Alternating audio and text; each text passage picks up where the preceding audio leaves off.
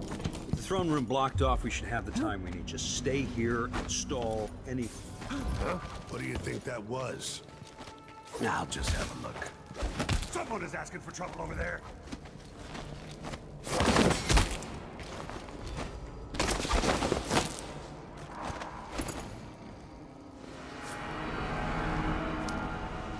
This won't leave my hand again.